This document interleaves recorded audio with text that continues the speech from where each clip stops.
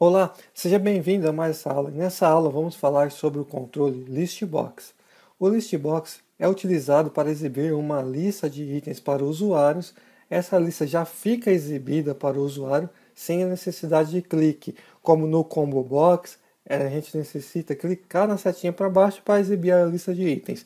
Nesse já fica totalmente visível para o usuário. Então vamos lá para o Visual Studio e ver como que funciona na prática esse controle list box. Então eu estou aqui no Visual Studio já com o projeto Toolbox aberto. Eu vou vir aqui no Toolbox, do lado esquerdo aqui, e selecionar o controle aqui, List Box. Então vou clicar nele e arrastar aqui para o formulário. Então eu desenho o List Box aqui. Então você pode observar que ele já fica aberto os itens aqui para o usuário. Agora vamos lá para o lado direito da tela do Visual Studio e ver as principais propriedades do controle. Então vamos lá. Tem aqui a, a propriedade name, que é para a gente poder referenciar ele mais simples lá no código, né? lembrar qual que é o componente que a gente está trabalhando, né? ou o controle. Eu sempre renomeio ele como LST. Lista, por exemplo, eu vou colocar o nome dele aqui. A próxima propriedade aqui é Anchor, que é conforme o redesenho o formulário, como que ele vai se comportar na tela. A propriedade back color, que é a cor do fundo do controle. A border style, que é para mudar a borda aqui, laterais aqui do controle. A cause validation, que é a propriedade para se ele vai causar a validação do, do controle anterior do foco. A próxima propriedade aqui a Contest Menu Strip, que a gente vai ver como a gente utilizar o Contest Menu Strip, que é um menu suspenso, que quando clica com o botão direito no controle vai aparecer o menu suspenso em cima do controle. O cursor, que a gente está utilizando aqui o default do Windows, eu posso mudar aqui o, o ponteiro do mouse aqui que eu quero quando recebe o foco lá do mouse dentro do controle o data source, que eu posso colocar uma, uma tabela de dados dentro do controle, exibir uma tabela de dados dentro do controle. O display member, que é qual coluna do data source que eu quero exibir dentro do controle. Aqui é a forma de como eu docar aqui o controle no formulário. Eu sempre utilizo o nome que eu posso redesenhar aqui o controle da forma que eu quero. A próxima propriedade aqui é o Enable, que é se o controle vai ter acesso ou não pelo usuário no modo de execução do projeto. A propriedade fonte, que é para eu alterar a fonte e o tamanho, o estilo da fonte do controle. A propriedade for color, que é para mudar a cor da fonte dos itens da lista. A próxima propriedade que é items, que é os itens do controle, então já posso setar alguns itens aqui que sempre vai ser exibidos quando executar o projeto. Então vou pôr aqui item 1, item 2, ok? Então já aparecem os itens aqui. A próxima propriedade aqui é a location, que é a localização do controle no formulário, a propriedade locket, para eu deixar o controle travado no formulário aqui no modo de design, tá? Não consigo fazer alteração aqui nem de tamanho, nem de localização do controle no formulário. Então vou voltar aqui para false.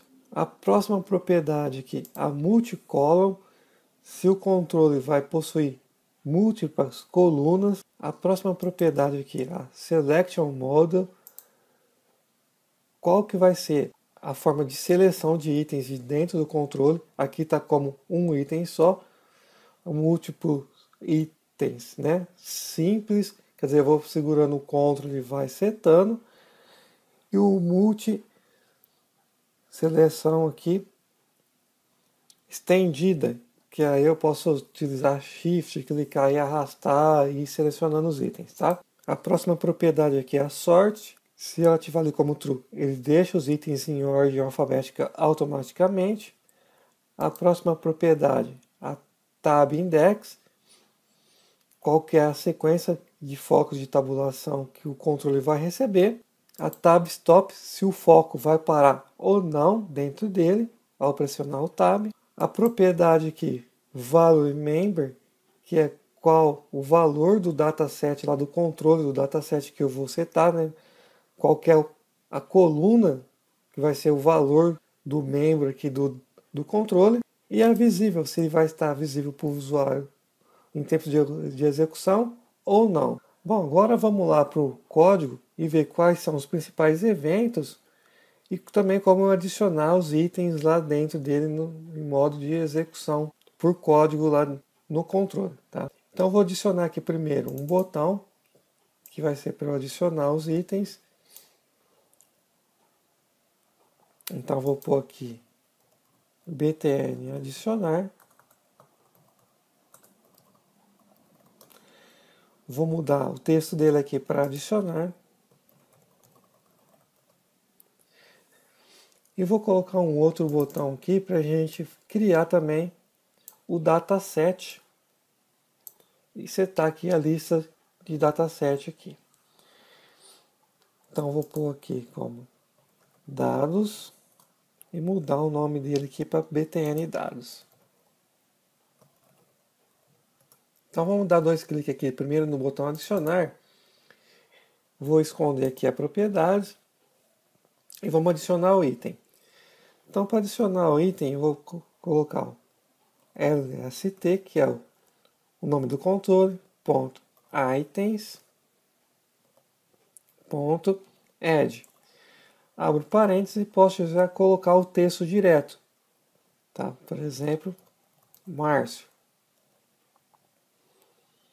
Aí tem a outra forma de estar adicionando item que eu pedi o input box lá para o usuário já digitar o nome ou o texto que ele quiser. Então vamos lá. lst lista.items.add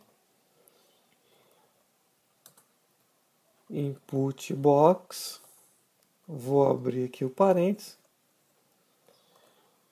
digite seu nome,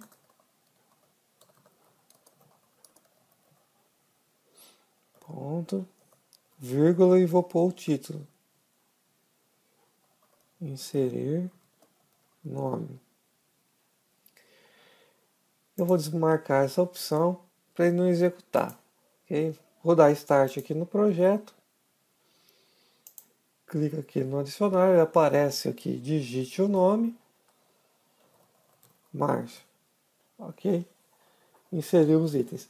Se eu fechar em branco também, ele vai adicionar um item em branco aqui. Adicionou um item em branco. Agora, vamos selecionar ele aqui no combo box aqui de controles. Vamos colocar aqui o LST lista.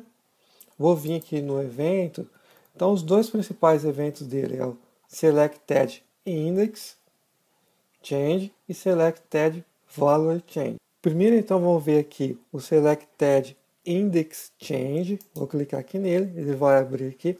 Então, sempre que mudar o índice lá do itens lá dentro do controle, por exemplo, ele, ele começa como índice 0, 1, 2, 3, 4, assim por diante, ele vai executar alguma coisa de acordo com a mudança do índice dos itens. Então eu posso verificar se lst.selected index for igual a zero, o primeiro item, fazer alguma coisa, tá? Então vou pôr uma mensagem aqui.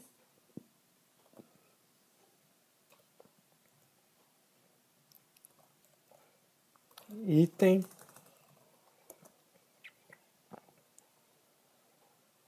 zero selecionado. Ok? Vou dar Start. Então, se eu clico no primeiro item não faz nada, se eu clico no segundo ele aparece aqui a mensagem para mim. Ok? Então, eu consigo ir selecionando qual índice que eu quero e cada índice que seleciono eu posso executar alguma coisa algum código dentro dele. O próximo evento é o selected valor change. Esse evento ocorre quando muda o valor do campo lá selecionado dentro do data source.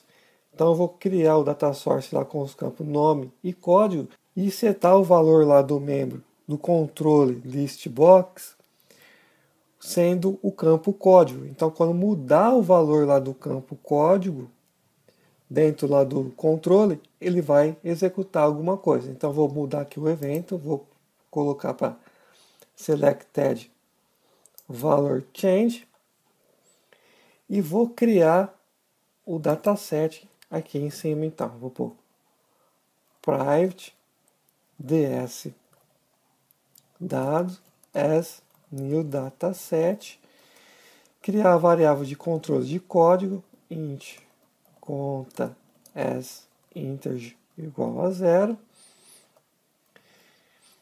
No evento aqui do formulário load, eu vou criar a tabela e as duas colunas. Então, ds dados.table.add e criar as duas colunas. Então, vou pôr a tabela 0.columns.add. Então, a primeira vai ser o código, vírgula, que tipo que é que eu quero, então vai ser o tipo integer. Vou copiar essa linha.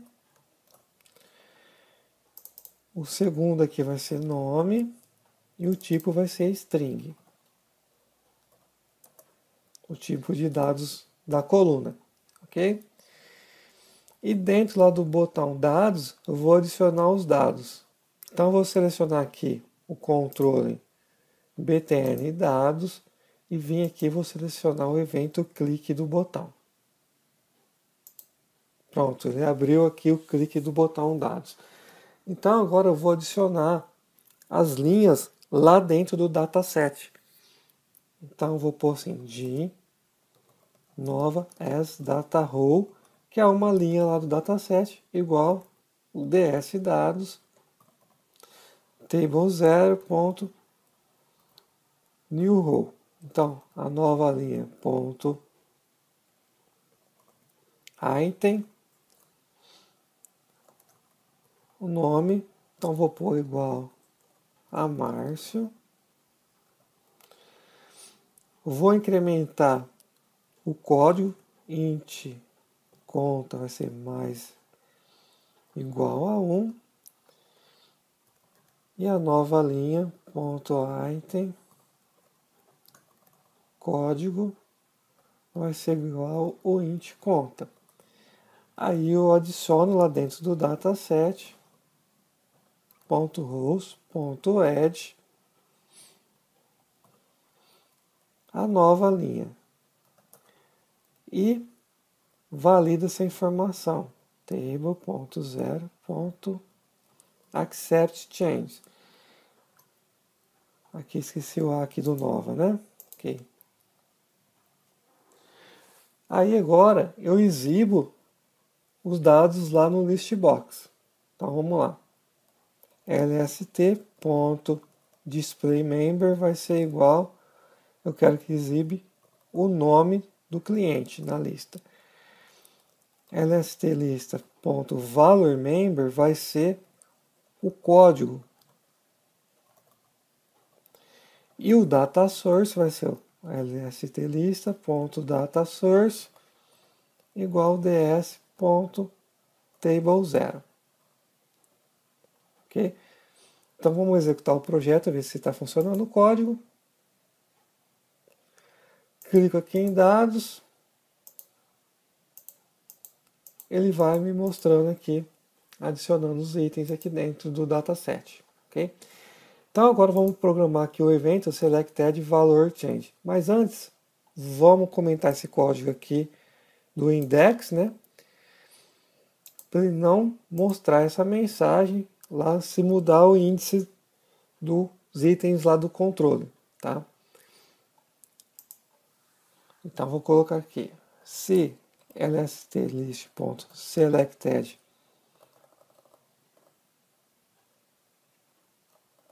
valor for igual a 2, então eu vou copiar essa mensagem aqui. Vou mudar aqui.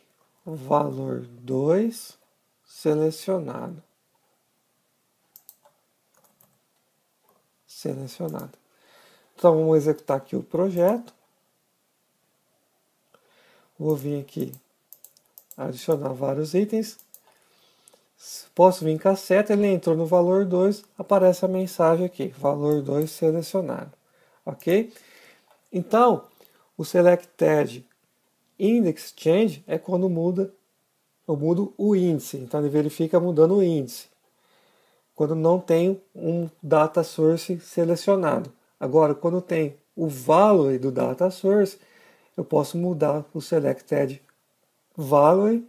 Então, quando ele muda para o código que eu coloquei como o campo de valor sendo o código, ele executa lá a linha lá dos valor 2 selecionado. Então, essa aula fica por aqui. Nos vemos na próxima aula.